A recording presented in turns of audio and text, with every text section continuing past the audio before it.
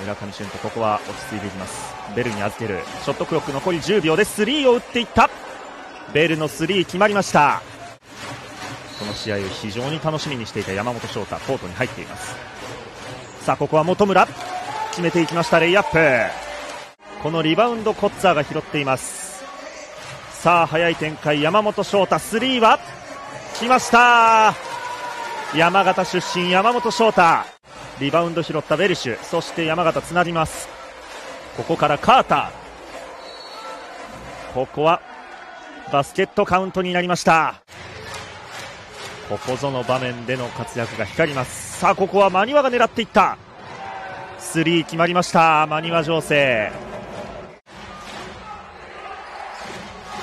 柳川真庭が呼んでいる。真庭のスリー。決まりました。トーマス・ウェルシュについているケビン・コッツァー。さあここは真庭のスリーは来ました。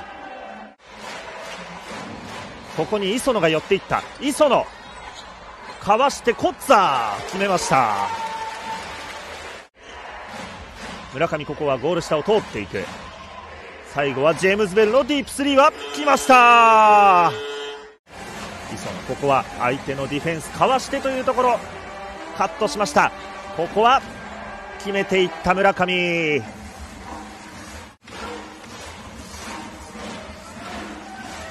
磯の中に入っていく。ノールックでウッドベリーに渡った。決まりました。さあここはベルが決めていく。さあ山田からベル。マニワが行く。マニワがドリブル見せて最後ウェルシュツーポイント。ショットクロック残り10秒切った。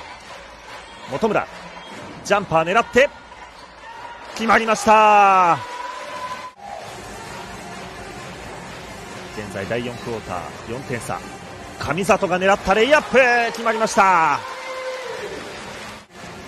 さあ熊本7点を追いかけます。